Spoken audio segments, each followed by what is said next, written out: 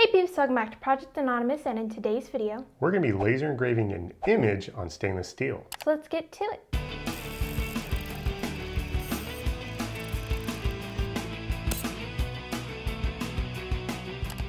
So we've done a few projects with different stainless steel and trying to engrave on it, but we haven't done like a realistic image on it before. So today's project, we're going to use those medallions that we used before, and we're going to get a picture of Daisy to try to get an engraving on there that looks more realistic as an image. So let's get to designing.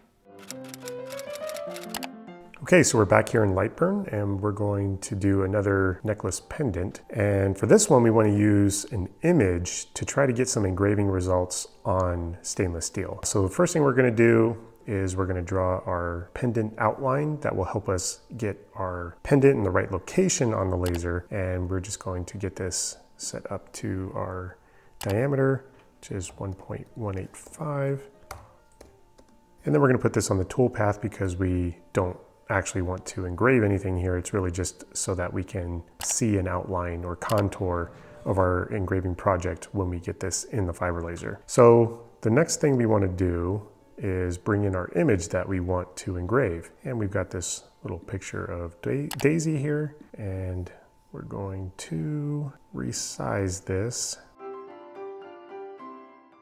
And what I want to do is I'm going to select our image here and then I'm going to select our toolpath, our outline of our pendant, and then I'm going to right click and apply mask to the image.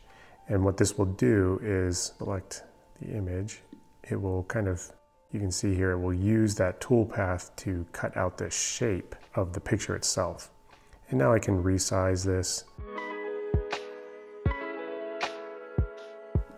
Okay, that looks good to me. The next thing we want to do is right click on this image and then we're going to flatten the image mask. And what that's going to do is it's going to delete the rest of the image.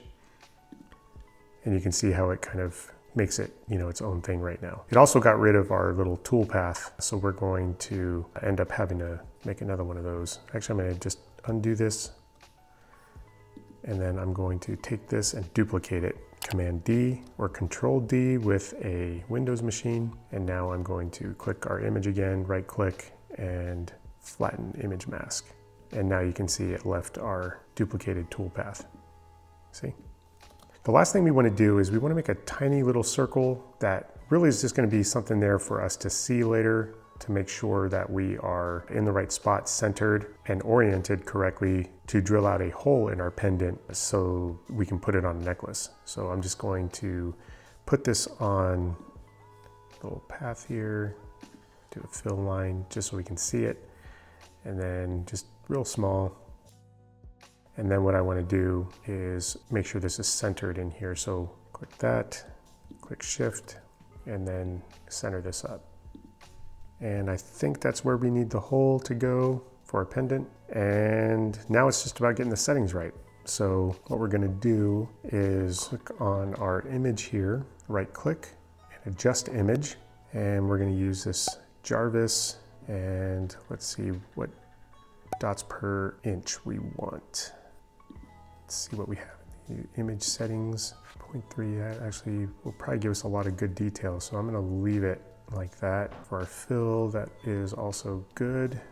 Okay, I think we're all set up. Obviously, uh, what you have to be careful of here is not putting too much dots per inch because the laser engraver is only capable of a certain amount of dots per inch. Making this number bigger will make more detail here. However, if it exceeds the detail of your machine, it's not going to help at all. So we're gonna go ahead and just leave this like this and go to the machine.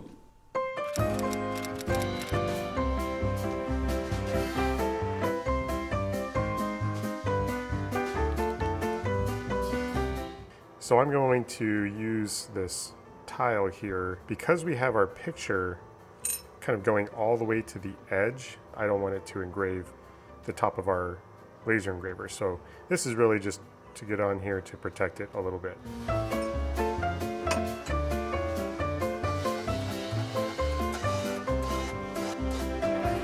So I did change the interval here to 0.01. Let's get this framed out.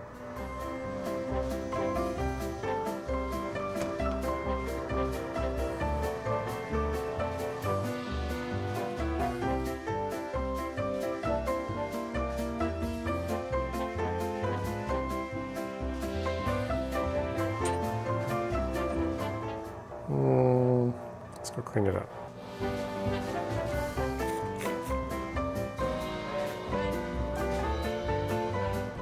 Well, that didn't turn out exactly like I wanted it to. I'm gonna try doing this again to try to get a little bit darker.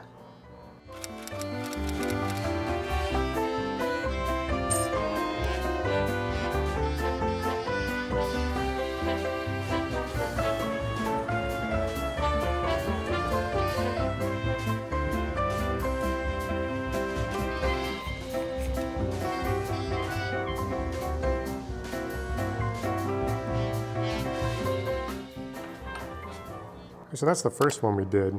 And we had more detail in this one, but I think that actually stifled the laser from firing like completely. So this one we turned it down back to the that 0.03, the, the default that it had on there for this particular image. And it actually turned out way darker and kind of nicer. It kind of looks like a sepia tone and kind of have a little brownish in there. So that's actually really nice. I like that we put a little mark there for our drill hole so we can go drill this out to kind of put a little loop on there to connect to a necklace. And then once we drill that hole out, we're gonna spray this thing with clear coat to kind of protect this from rusting as well as to kind of give it a nice glossy feel. So that's what we're gonna do now. Okay, so we have our mark there and I'm gonna use this little punch here to kind of put a little dent in there so that the drill bit kind of goes where it needs to go. It doesn't wander. Put that there and now I got a little dent there that the drill bit can go into.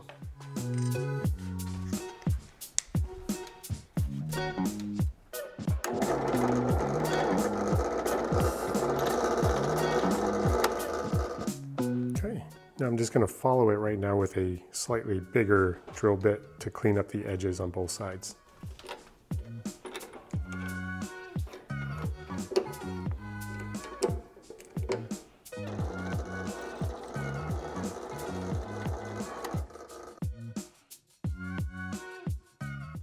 Okay, so now we're just going to clean it up with some alcohol to get the oils off, and then we're going to spray it with clear coat.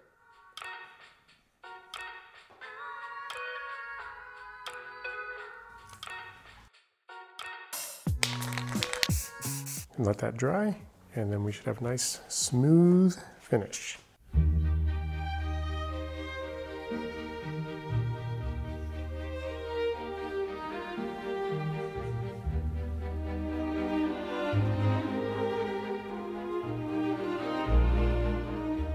It's really cool we can engrave kind of a pretty detailed image with a fiber laser.